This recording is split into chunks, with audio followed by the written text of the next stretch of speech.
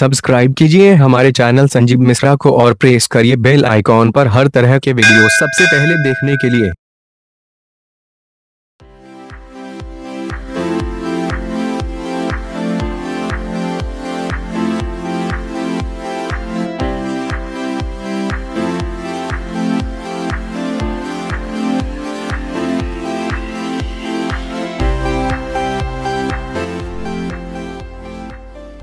पटना शहर अपने विविधताओं के लिए पूरे विश्व में जाना जाता रहा है। नमस्कार दोस्तों, आज के इस वीडियो में मैं आपको पटना के मीठापुर बस स्टैंड के बारे में बताऊँगा। पटना जंक्शन रेलवे स्टेशन से महज एक किलोमीटर की दूरी पर अवस्थित है मीठापुर बस स्टैंड।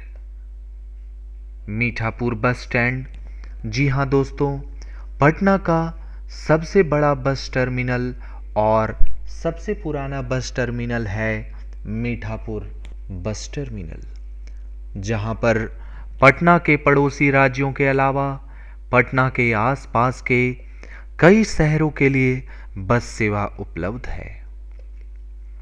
प्रतिदिन हज़ारों की तादाद में बसों का आवागमन मीठापुर बस स्टैंड से होता है। जिससे कि तकरीबन एक लाख से भी ज़्यादा पैसेंजर्स यात्रा का आनंद रोज़ाना उठाते हैं।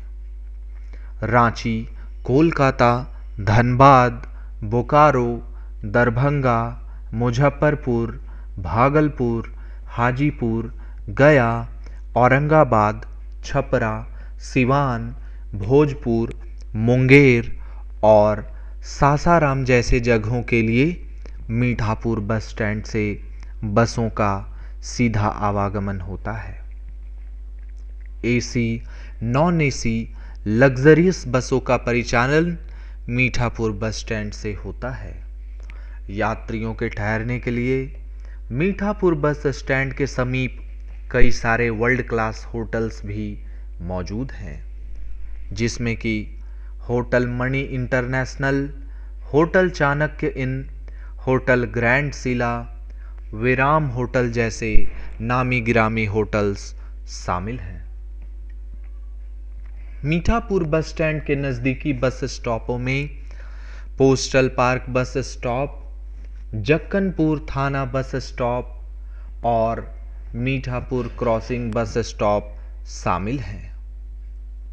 दोस्तों, मीठापुर बस स्टैंड को फ्यूचर में और भी ज़्यादा आकर्षण और डेवलप्ड तथा हर सुविधाओं से युक्त वर्ल्ड क्लास बस टर्मिनल बनाने की कोशिश राज्य तथा केंद्र सरकार के द्वारा जारी है। मीठापुर के नज़दीकी मंदिरों में महावीर मंदिर पटना जंक्शन सबसे प्रसिद्ध है।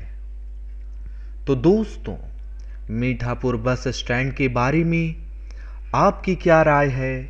हमें कमेंट बॉक्स में कमेंट करके ज़रूर बताएँ।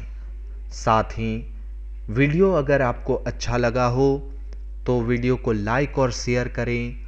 और अगर आप हमारे चैनल पर नए हैं तो वीडियो के नीचे दिए गए लाल कलर के सब्सक्राइब बटन को प्रेस करके चैनल को सब्सक्राइब ज़रूर कर लें। वीडियो को पूरा देखने के लिए दिल से धन्यवाद।